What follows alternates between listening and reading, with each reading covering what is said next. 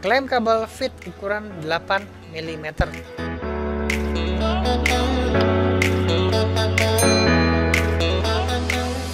Sebuah alat yang dipakai untuk merapikan dan membuat si kabel yang ada di plafon dinding dekat rumah Anda itu dapat menempel dengan jangka waktu yang lama.